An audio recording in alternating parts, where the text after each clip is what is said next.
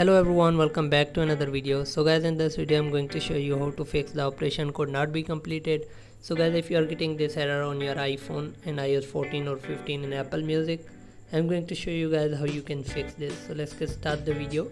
So before we start the video guys hit the like button and subscribe to the channel for more upcoming videos.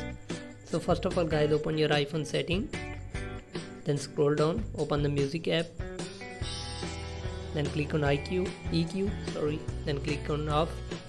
Now make sure that mobile data is turned on. Now close the setting again. Now guys the next step is open your iPhone setting again.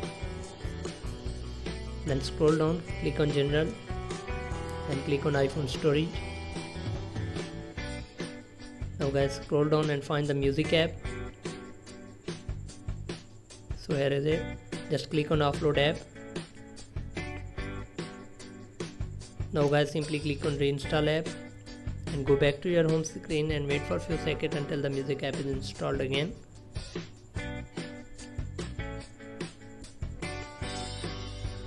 So guys now the music app is installed again. Your problem will be solved. You will not get this error again. So hope you guys like this video. If you guys like this video leave a like and comment. Thanks for watching guys. See you in the next video